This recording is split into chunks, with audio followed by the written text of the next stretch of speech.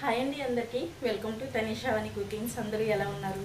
మేమైతే చాలా బాగున్నామండి. ఈరోజు మన కుకింగ్ ఛానల్లో వచ్చేసి కజ్జికాయలు చేస్తున్నాము. కొంతమంది కజ్జికాయలు అంటారు కొంతమంది చిల్లిడికాయలు అంటారు.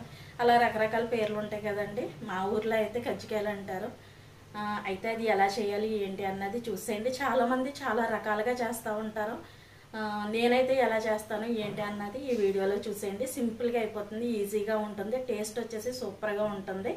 ఒకసారి చూడండి ట్రై చేయండి. ఖచ్చితంగా నచ్చితే కనుక లైక్ చేయండి షేర్ చేయండి మన ఛానల్ని సబ్స్క్రైబ్ చేయండి. అలాగే కామెంట్ చేయడం మర్చిపోవద్దు. ఇందులోకి ఏమేమి వేస్తున్నాం ఏంటి అన్నది చూసేయండి. ఇదిగోనండి కజ్జికాయలకి కావాల్సినవి మనం వచ్చేసి కొబ్బరి తీసుకున్నాం. నేను వచ్చేసి రెండు కొబ్బరికాయలు ఎగస్ట్రా ఒక చెప్ప ఎగస్ట్రా అన్నది తీసుకున్నానండి కొబ్బరిలోను.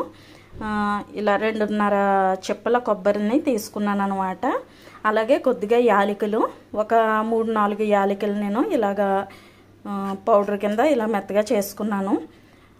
అలాగే దీంట్లోకి కొద్దిగా కిస్మిస్ అలాగే జీడిపప్పు వేస్తున్నాము. ఇది కొబ్బరిది తిన్నప్పుడు మధ్య మధ్యలో తిన్న పలుకుల కింద టేస్ట్గా బాగుంటుందన్నమాట ఇలా వేసుకోవడం వల్ల. అందువల్ల మనం కొబ్బరిలోకి జీడిపప్పు కిస్మిస్ అన్నది వేస్తున్నాము. అలాగే ఇది వచ్చేసి బెల్లం అండి. బెల్లాన్ని కూడా నేను మిక్సీ పట్టాను. కొబ్బరిని మిక్సీ పట్టినప్పుడే మిక్సీ పట్టాను అనమాట ఇది వచ్చేసి బెల్లం. బెల్లం వచ్చేసి మనకి షుగర్ ఎక్కువ తినేవాళ్ళు స్వీట్ ఎక్కువ తినేవాళ్ళు అయితే కొంచెం ఎక్కువ వేసుకోవచ్చు స్వీట్. అలాగే తక్కువ తినేవాళ్ళు అయితే కొంచెం తక్కువగా వేసుకోవచ్చు. అదనమాట ఇది వచ్చేసి నెయ్యి. నెయ్యి ఏంటంటే మనకి ఇవి ఫ్రై చేసుకోవడానికి మాత్రమే వాడతాం ఇందులో నెయ్యి.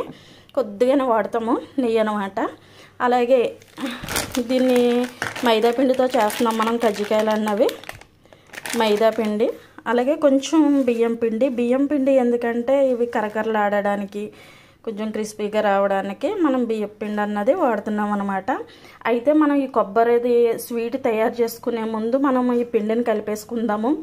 ఈ స్వీట్ రెడీ అయ్యేలోపు మనకి పిండి అన్నది కొంచెం నాని మెత్తగా వస్తాయి అన్నమాట మెత్తగా వచ్చి పిండి బాగా వస్తాయి అన్నమాట అయితే ముందు మనం పిండిని కలుపుకుందాము. ఓకేనండి ముందైతే మనం ఇటువంటి బేషన్ ఒకటి తీసుకోవాలి. ఈ బేషన్లోకి మనం మైదా పిండిని వేసుకుందాము. నేను వాయిస్ అన్నది ఇచ్చాను కానీ అది సరిగ్గా సౌండ్ వచ్చేసినాయండి. మాది రోడ్డు రోడ్డు ప్రక్కన అవడంతో ఎక్కువ వెహికల్స్ అయ్యి వెళ్ళడం నా మాట తక్కువ వినిపిస్తుంది. అందుకనే మళ్ళీ మీకు వెనక వాయిస్ ఇవ్వాల్సి వస్తుంది నేను. అయితే ఇలా మైదా పిండి వేసుకున్న తర్వాత దీంట్లో కొంచెం బియ్యం పిండి కూడా వేసుకున్నాము. బియ్యం పిండి ఏంటంటే కరకరలాడడానికి పిండి అన్నది ఆ, వేసుకున్నాం అనమాట అలాగే కొంచెం సాల్ట్ అన్నది కూడా వేసుకున్నాము. ఈ సాల్ట్లోకి మనం ఇప్పుడు ఈ సాల్ట్ ఈ బియ్యం పిండి మైదాలోకి బాగా కలిసేలాగా కలుపుకున్నాము.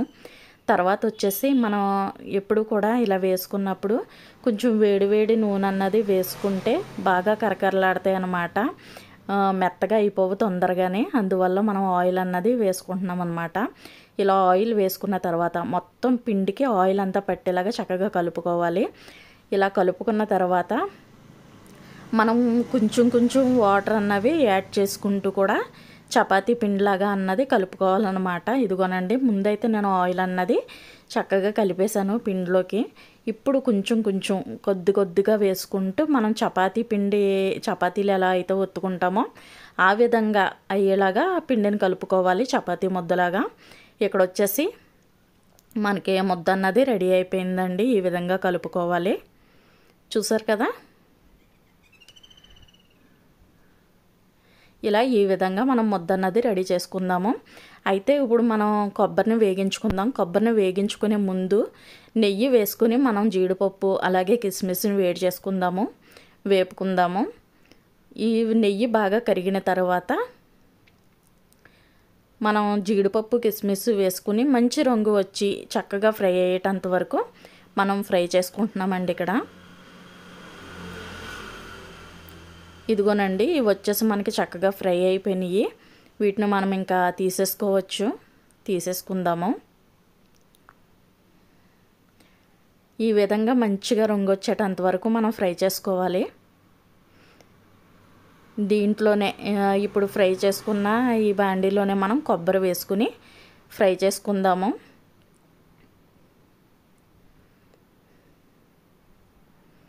ఒక ఐదు ఆరు నిమిషాలు దాన్ని మీడియం ఫ్లేమ్ మీద మీడియం మంట మీద పెట్టుకుని ఒక ఐదు ఆరు నిమిషాల పాటు దాన్ని మనం చక్కగా ఫ్రై చేసుకోవాలి. ఇలా కలుపుకుంటూ ఫ్రై చేసుకోండి. ఇలా పెట్టి వేసేసి వదిలేయకండి. కొబ్బరి అన్నది తొందరగా మాడిపోతుంది. కాబట్టి మనం కలుపుకుంటూ ఫ్రై చేసుకోవాలి. ఇలా ఫ్రై అవ్విందండి. చక్కగా ఫ్రై అయింది కదా. దీంట్లోకి మనం ఇప్పుడు ముందుగా తురుముకున్న మిక్సీ పట్టుకున్న బెల్లాన్ని వేసుకుంటున్నాము. బెల్లం వేసుకుని బాగా కలుపుకొని దాంట్లో కరిగి దాంట్లో కలిసిపోయేటంత వరకు మనం దీన్ని ఉడికించుకోవాలి. ఇది బెల్లం మనం చిన్న చిన్న ముక్కల కింద వేయట్లేదు కదండి పౌడర్ కింద వేస్తున్నాం కాబట్టి అది ఫాస్ట్గానే అయిపోతుంది. ఇదిగోనండి ఇక్కడ వచ్చేసి బెల్లం చక్కగా మనకి కరిగిపోయి అది దగ్గరగా కొబ్బరి అది కలిసి చక్కగా ఫ్రై అయింది ఉడికింది. ఇప్పుడు మనం ముందుగా రెడీ చేసుకున్న కిస్మిస్ అలాగే జీడిపప్పును కూడా వేసుకుని మనం మరొక్కసారి కలుపుకుందాము. అలాగే దీంట్లోకి యాలకుల పొడి కూడా వేసుకుని మనం చక్కగా కలుపుకుందాము. యాలకులు జీడిపప్పు వేసి కలిపిన తర్వాత చాలా మంచి స్మెల్ వస్తుందండి. స్వీట్ అయితే కరెక్ట్గా సరిపోయింది. నేను తీసుకున్న బెల్లం ఒకవేళ ఎక్కువ తినే వాళ్ళు అయితే ఎక్కువ వేసుకోవచ్చు తక్కువ తినే వాళ్ళు అయితే తక్కువ వేసుకోవచ్చు బెల్లం. అయితే అలా కలిపి అన్ని రెడీ చేసుకున్న తర్వాత మనం ముందుగా రెడీ చేసుకున్న ఈ చపాతీ ముద్దల్ని చిన్ని చిన్న చపాతీల కింద ఒత్తుకుందామండి. పొడిపిండి తీసుకున్నాను. ఒత్తుకున్నప్పుడు దాంట్లో పొడిపిండి వేసుకుని మనం ఒత్తుకోవాలి చపాతీలని. ఇలా ముందు బాల్స్ కింద ఒక నాలుగైదు బాల్స్ కింద చేసుకొని చపాతీలను ఒత్తుతున్నాను.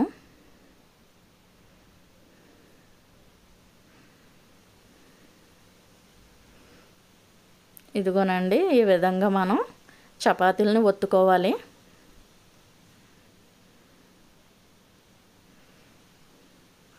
ఇవి వచ్చేసి బాగా పెద్ద చపాతీలు ఏమి ఒత్తుకొని అవసరం లేదు.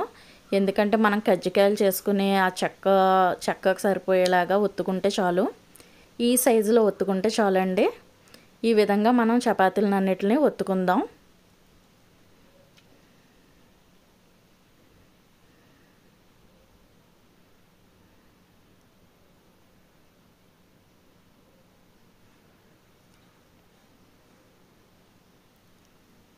ఇవిగోనండి చపాతీలు అయితే మొత్తం ఒత్తుకున్నాము. చూసారు కదా ఈ విధంగా ఒత్తుకోవాలి. ఇప్పుడు ఏంటంటే మనం కొంచెం మైదాలోకి కొద్దిగా వాటర్ మిక్స్ చేసుకోవాలండి. బాగా పేస్ట్ లాగా చేసుకోవాలి. మనం కజ్జికాయలు చేసుకున్నప్పుడు ఇది రాయాలి మనం ఇలాగా చక్కగా పేస్ట్ లాగా చేసుకోవాలన్నమాట. దీంట్లో మైదా వేసుకొని.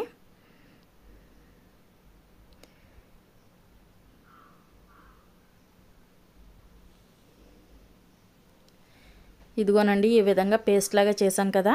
ఇప్పుడు మనం ఇది కజ్జికాయలు వేసే చెక్కకి ముందుగా పౌడర్ రాసుకోవాలి. ఎందుకంటే ఆ చపాతీ అన్నది ఎక్కడ కూడా దీనికి అంటుకుపోకుండా ఉండడానికి.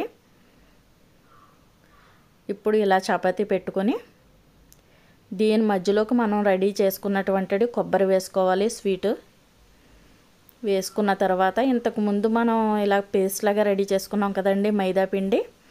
దాన్ని మనం ఆ చుట్టూ ఉన్న అంచులకి అంటించాలన్నమాట. ఒక ప్రక్కన అంటిస్తే చాలులే అండి రెండు వైపులా ఏం అంటించిన అవసరం లేదు.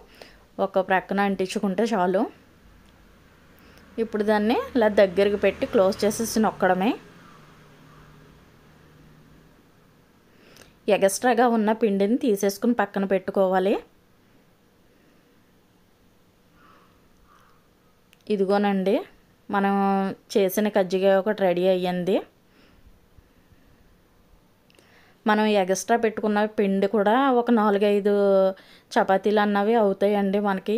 ఇవన్నీ పూర్తిగా చేసుకునేటప్పటికి ఆ ఎగస్ట్రా పిండి పిండి అంతా కూడా ఒక పక్కకు పెట్టుకుంటూ ఇలాగ మొత్తం చేసుకోవాలన్నమాట.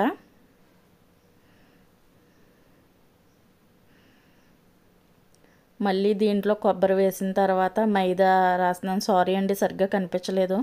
నేను ఈ కజ్జికాయనే చూస్తున్నాను కానీ వీడియోలో రికార్డ్ అవుతుందా లేదా అన్నది గమనించలేకపోయాను. అయితే ఈ విధంగా మనం చేసుకోవాలి. చూసారుగా? ఆ విధంగా. అలా మనం మొత్తం అన్నీ కూడా చేసేసుకుందాం. ఇవిగోనండి ఇన్ని అయితే వచ్చినాయి. అన్నీ కూడా నీట్గా వచ్చినాయి. చక్కగా ఎక్కడ పాడవకుండా వీటిని ఇప్పుడు మనం ఆయిల్లో ఫ్రై చేసుకుందాం. ముందుగా ఒక బాండీ పెట్టుకుని దాంట్లోకి ఆయిల్ వేసుకోవాలి. ఆయిల్ అన్నది వచ్చేసి బాగా వేడైపోకూడదు. బాగా వేడైపోయినప్పుడు వేస్తే అలా వేయంగానే అవి చక్కగా మంచి కలర్ వచ్చేస్తే కానీ లోపల అన్నది ఉడకదనమాట చక్కగా ఫ్రై అవ్వదు. కొంచెం వేడైన తర్వాత దాన్ని మనం వేసుకుందాము కజ్జికాయలని. ఇదిగోనండి కొంచెం అయితే వేడైనవి ఇప్పుడు మనం కజ్జికాయలను వేసుకుంటున్నాం. ఎక్కువ వేసేసుకోకూడదు. మూడు లేదా నాలుగు వేసుకోవాలి. అవి ఉడకడానికి ఫ్రై అవ్వడానికి చక్కగా కొంచెం ఖాళీ ఖాళీగా ఉండేలాగా చూసుకోవాలి. ఇవి వేసిన వెంటనే కూడా తిప్పేయకూడదు. అవి కొంచెం ఫ్రై అయిన తర్వాత రెండొక వైపుకి మనం తిప్పుకోవాలి. ఇదిగోనండి కొంచెం ఫ్రై అయినవి అక్కడక్కడ తేలుతున్నాయి అన్నమాట పైకి. అప్పుడు నేను రెండొక వైపుకి తిప్పాను. ఇలా మనం రెండు వైపులా కూడా చక్కగా ఫ్రై చేసుకోవాలి.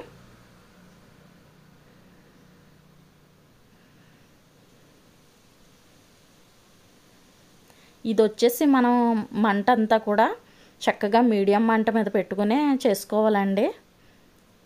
లేదంటే కనుక చక్కగా ఫ్రై అవ్వు నెక్స్ట్ వచ్చేసి పెద్ద మంట పెట్టుకుంటే వెంటనే మాడిపోతాయి కాబట్టి మీడియం మంట మీద పెట్టుకుని చేసుకోవాలి. ఇక్కడ వచ్చేసి ఈ విధంగా ఫ్రై అయిన తర్వాత మనం తీసేసుకుంటున్నాము. ఒక ప్లేట్లో పేపర్స్ వేసి దాంట్లోకి తీస్తున్నాను అనమాట ఏదైనా ఆయిల్ ఏమన్నా ఉన్నా కానీ దానికి అంటుకుంటుందని చెప్పేసి. మిగిలినవన్నీ కూడా నేను అదే విధంగా ఫ్రై చేస్తున్నాను.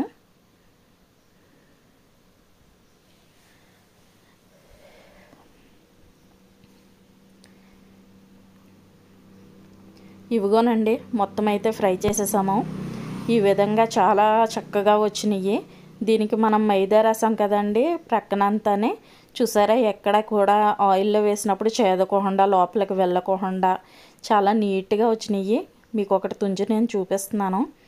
అబ్బా చాలా బాగా వచ్చినాయండి. చాలామంది ఈ కజ్జికాయలు చేసినప్పుడు కొంచెం అంతే పెడతారు కొబ్బరి. కానీ అలా కన్నా కొంచెం ఎక్కువ పెట్టుకుని ఇలా చేసుకోండి. వాటి షేపు బాగా వస్తుంది. తినడానికి బాగుంటాయి. టేస్ట్ సూపర్గా ఉంటుందండి. తక్కువగా పెట్టుకుంటే కొబ్బరి కూర అన్నది పైన మనం మైదా టేస్టే తెలుస్తుంది కానీ ఆ స్వీట్ టేస్ట్ అన్నది తెలీదు. ఒకసారి ఇలా ట్రై చేయండి అందరూ కూడాని. చూసారు కదా ఎంత బాగా వచ్చినాయో? ఈజీగా అయిపోతుంది టేస్టీగా ఉంటున్నాయండి. కాకపోతే ఒక్కొక్కరు చేయడం అన్నది కష్టమండి. పక్కన ఎవరైనా ఉంటే ఈజీగా చేసుకోవచ్చు ఎన్నైనా. చూసారు కదా నాకైతే ఒక గంట టైం పట్టిందండి.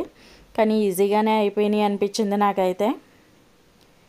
చూసారు కదా ఒకసారి ట్రై చేయండి. ఖచ్చితంగా అందరికీ నచ్చుతున్నాయి. చాలామంది అయితే పుట్నాల పప్పు అంటారు కదండి దాన్ని కూడా పౌడర్ చేసుకుని వేసుకుంటారు. అలా కూడా బాగుంటుంది.